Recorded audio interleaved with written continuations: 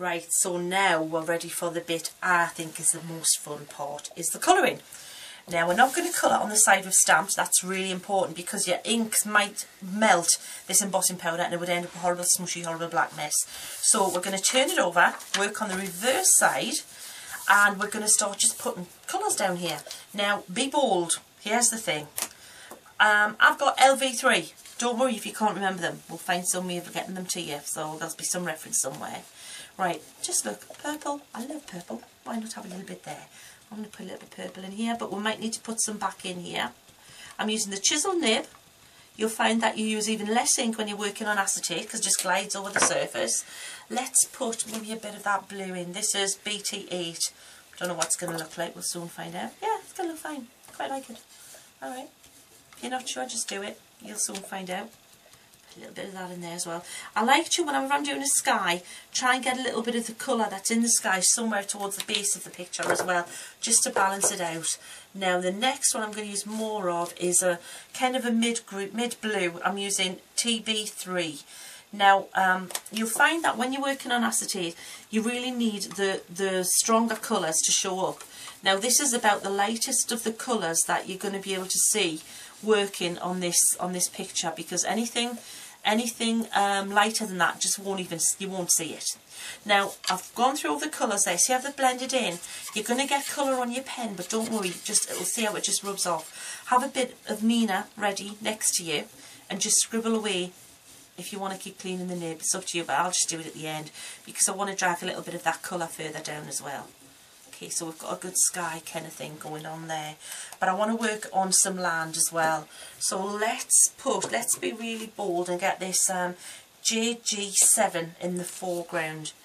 It's going to be a really strong bluey kind of green and I'm just going to make little fluffy kind of, make it look like a fluffy kind of um, hilly kind of thing here. Yeah, notice how the voice goes, because it's, this is Sheena World.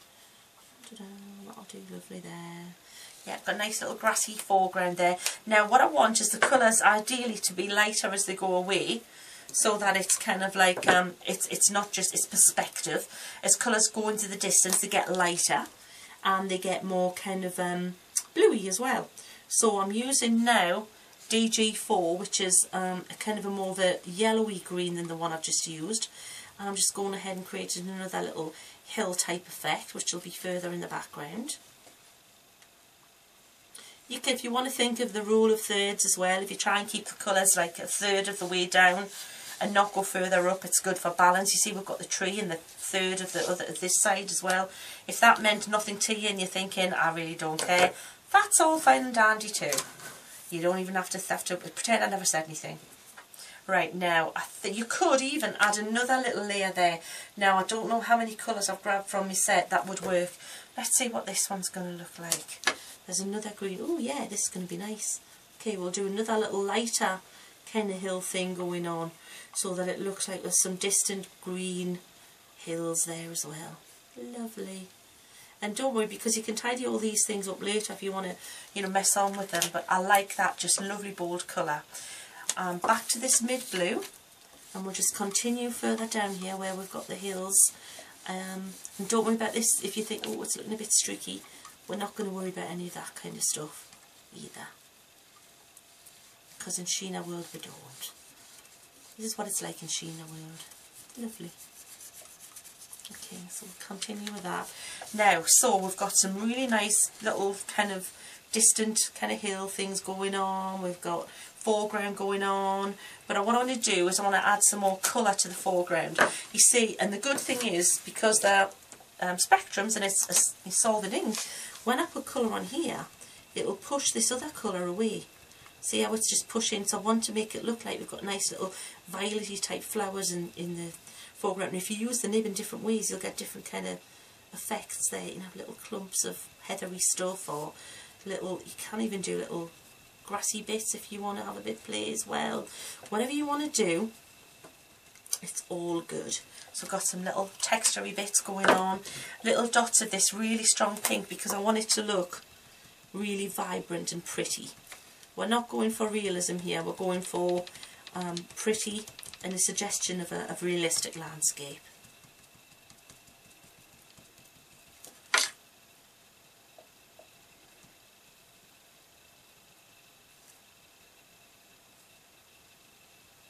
putting kind of, like kind of fox gluey things going on there just by dotting the pen. This wasn't actually, I hadn't planned this in the demo, I'm just playing now. These things can happen, even on live TV. Those of you who know me will know this. But that's how it should be, isn't it? That's how crafting is. Now, we've got the lovely little scene thing going on, but we want to now add some clouds and we want some highlights. This is where the blender pen is your friend. Um, I'm going to use, well, let's use the little one, the, the broad, um, again, I'm going to dot in amongst where these these um, little lighter, these pretty colours are because I want it to look like there's little highlights in there, maybe some little daisies in amongst that. So I should have cleaned that before I started and just keep going over the area and you'll find it'll get whiter and whiter.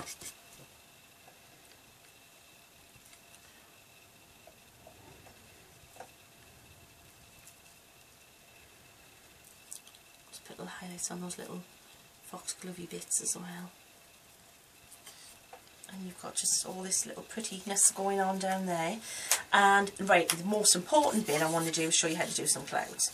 You've got the broad nib, you're going to draw a circle big circle then you're going to move out and do a smaller circle and we'll move off the page because it looks more natural and then let's move to the other side and do another circle and you don't have to really see where you've stamped because that's on the other side it's all protected clean the nib go back over if you want it whiter and you'll find it'll come off cleaner.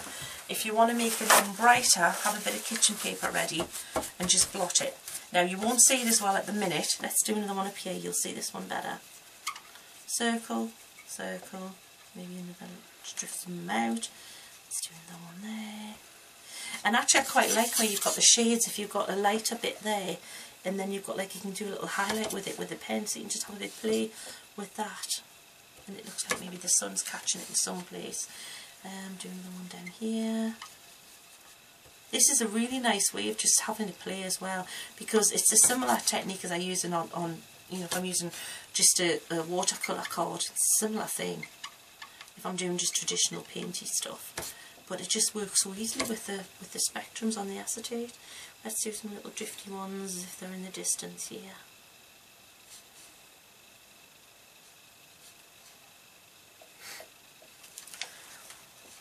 And then just a little bit of kitchen paper. Now at this stage you think, oh, I'm not sure what I've got, but what you'll do is you'll get another piece of card, clean bit of card, and you will then get rid of the dirty piece, get rid of that, pop that the other way around now, make sure it's dry it's not, just going to quick, not too close, blast with a heat tool.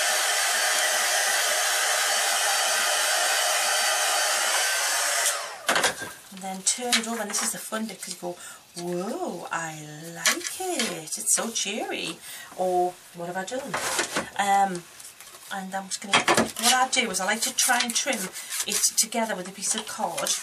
Now another little trick here is if, to make this easier, this little bit easier, is if you get one of those tape pens, the pink tape pens from Crafters Companion, do a little catch in each corner.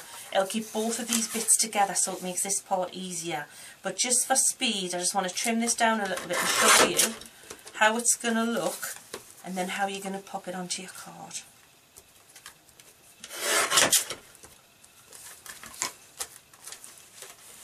So remember that little bit of tape in the corner of each one, just enough just to hold the acetate and everything together.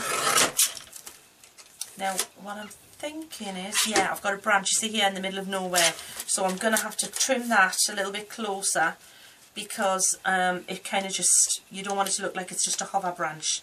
You need to trim it so it looks like it's coming off the page. So we needed to, can you see what I mean?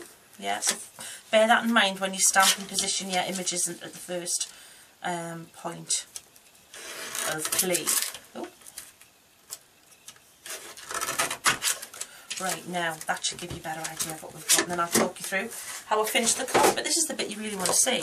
So, from that blank piece of acetate, we've now got a really pretty, sunny, cheery, happy place where I spend most of my time, if only in my mind. Okay? And the good thing is if you make any mistake, you want to change it, just go over with your pen again. You can go over the sky again and then put the clouds in again if you didn't like them. It's so forgiving. Um, and what I've done to finish the card is, moving along, obviously I've trimmed, it's a different proportion to the one I showed you earlier. Um, I've used a little bit of um, some small brads in the corner just to give that little bit of tape a little bit more help to keep them together. The matte paper, matte card here, I wanted one that would fit um, exactly with the picture so I just used my spectrums on some Neenah and just coloured around the side just enough so that I knew when I layered it up you wouldn't see it and just a little sentiment again with a little bit of the edging with the spectrum around the side and I'm happy with that it makes me smile. Here's another option. This is from the um, Stampin' Australia stamps using white embossing powder and just more of a purpley colour scheme so you can see how you can just have a bit play. And I thank you very much. So that was me, Sheena Douglass. If you want to know anything about anything I've used, anything sh Sheena or moi, if you will, if you go to sheena.tv, you'll find my gallery and um, hints and tips and, and all kinds of things there. Thank you.